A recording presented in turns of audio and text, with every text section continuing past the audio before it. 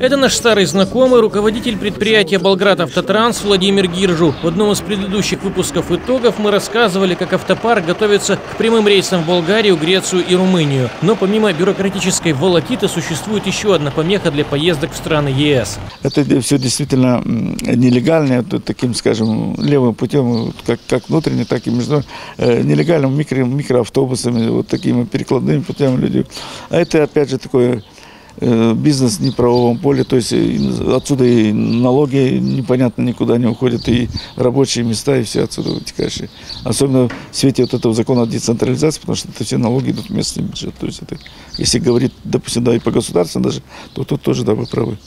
Потому что вот много нелегальным путем, не- незаконным э, осуществляет эту свою деятельность. Рейды по выявлению нелегалов проводятся еженедельно, начиная с середины мая. Проверяющие отрабатывают разные направления, в основном на юг региона, поближе к воде. Как только находят машину, не имеющую законных оснований для своей деятельности, пассажиров пересаживают в другие автобусы, легальные. Складаються відповідні матеріали про порушення. Потім вони надаються до уп- регіонального управління, де зареєстровано транспортний засіб. Е, В даному випадку це е, в Одеській області.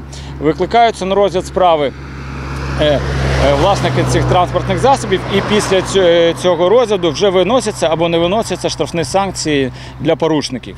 С начала лета проверяющие спецгруппы проверили документы у 250 автобусов. Кстати, предъявить претензии нелегалам, которые стоят на конечной остановке, практически нереально. У водителей появляется масса аргументов в свою защиту. Табличку убрал и ждет многодетную семью. Проверено около 250 уже транспортных средств. Из них э, где-то около 20 автомобилей выявлено. Все, все выявленные факты мы будем передавать в Укртрансбезпеку э, и ходатайствовать э, Укртрансбезпеку о лишении лицензии этих перевозчиков, которые были замечены в нелегальных перевозках. Ну, помимо этого выписываются соответствующие акты и, и протокол. Со стороны инспекции штраф 1700 гривен. Конечно, это не, небольшие деньги, как по моему мнению. То есть это должно наказание быть более жестким, более финансово как бы так проблемным для нелегального перевозчика. Штраф е, збільшується. Штраф заплачен. Какая гарантия, что эта машина снова не выйдет на линию? Ну, е, гарантії ніхто не може дати, але якщо він знову вийде на- і буде нелегаль, зна- займатися нелегальним перевозом, ну будуть знову штрафи.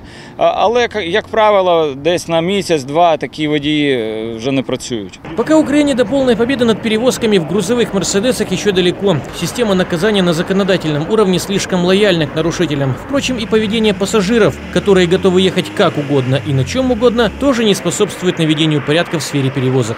Есть спрос, есть предложение. Виталий Химий, Григорий Евич, телеканал «Репортер».